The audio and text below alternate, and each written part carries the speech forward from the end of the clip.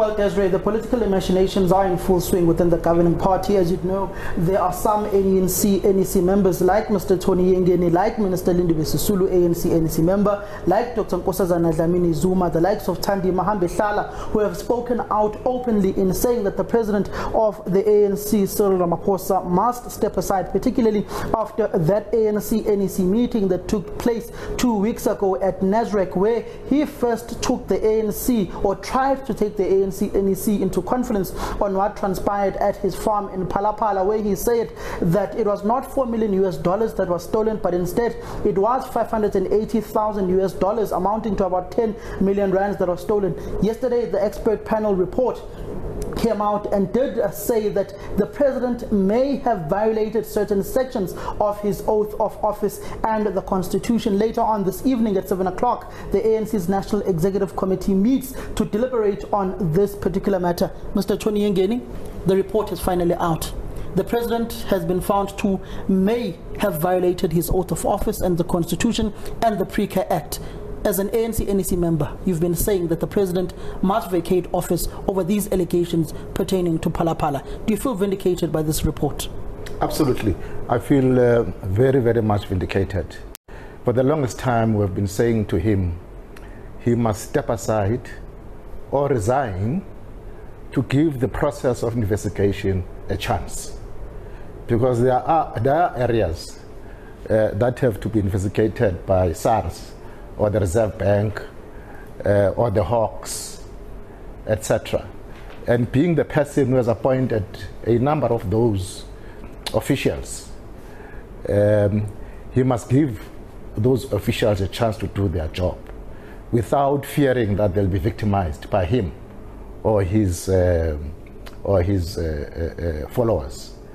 Um, um, but more than that, even the last NEC, uh, some of us made it very clear to, to him that he needs to step aside for another reason. And that reason being that he himself has admitted in public uh, on certain things, purely on those admissions by him in public, uncontest uncontestable facts, he should uh, resign. Uh, one of those ones that is very prominent in the report by the panel is that he not only failed to report the crime in his farm, but he also sought to hide or conceal uh, the existence of that crime, which is a very, very serious crime in terms of our legislation. The PRECCA uh, Act is very clear, Section 34.1, that if you are found guilty of that act, of that conduct, under that act, you must be sentenced. It's compulsory. You must be sentenced not less than 15 years. Mr. Yengeni, but is that, does the report, particularly its findings and recommendations at the end, not open up a leeway to say the president may, that word may, will it not be subject to legal interpretation and he may get off the hook on a technicality come your NEC meeting this afternoon? Look, I'm not a lawyer um, I saw that uh, uh, um, you know concept of may. Of course, the the panel was not meant to find the president guilty, but they found prima facie evidence that this man may have uh, uh, um, violated certain sections of our law and constitution.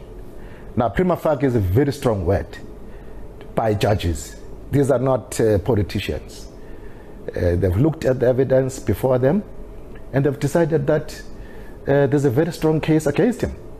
Is the NEC ready?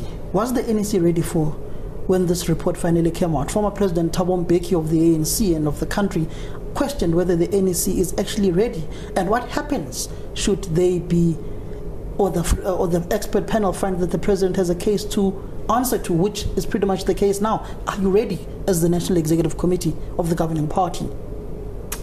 We are very, very, very ready. We can't wait for the National Executive Committee meeting tonight. because, as I said, you have been vindicated. And want to, um, I wish that this meeting be physical, not uh, uh, online, uh, so that we can stare each other in the eye and speak facts and the truth uh, to each other. Um, uh, I think we are ready to tell the president to leave and to give this process a chance. But besides that, giving the process a chance of investigation, you know, the ANC is so much under pressure because of this thing. You know, people are saying, and now saying, we told you. The whole ANC from number one downwards is a crime scene. It's a crime syndicate. So all of us now are implicated by, by association uh, in this thing. So the ANC is suffering tremendously in terms of, of its credibility, image, integrity. So we're saying just give the ANC a chance to continue with its uh, uh, programs. Well, Mr. Yengeni, as we wrap up, who of you in the ANC does not have baggage? Who of you does not have skeletons in the closet? Zweli Mkhize, there's allegations of digital vibes. Many ANC leaders are facing allegations. As you have said yourself, you are a crime scene, in a word, in, in, in, in the eyes of South Africans. Your own president said the ANC stands as accused number one. Yeah, well, um, two wrongs don't make a right. If you make a wrong and you commit a crime, you can't say, I must be left alone because Tony has also committed a crime. No. You must stand up and answer for yourself about what you have done and take responsibility and stop hiding behind all sorts of excuses. Cyril must take responsibility for his actions. We were not there at Phalaphala. It's his farm. He must take full responsibility and must give the ANC and the country a chance to proceed without him. Because as long as he's there, he's, he's creating serious trouble for us, even internationally, abroad for that matter. Are you anticipating nothing else and nothing less but a resignation from him as president of the ANC and president of the country? I expect Cyril to fall on his sword and resign today so that the country can breathe, the ANC can move on with its programs. Thank you very much, Mr. Tony Yengeni. Tony Yengeni, they're saying that he expects the president of the ANC and of the country to resign, to leave, to fall on his sword, and for the ANC to breathe. But as the ANC president said about a year or so ago, the ANC stands as accused number one. Samkele Maseko, they're very strong sentiments from ANC NEC member Tony Yengeni.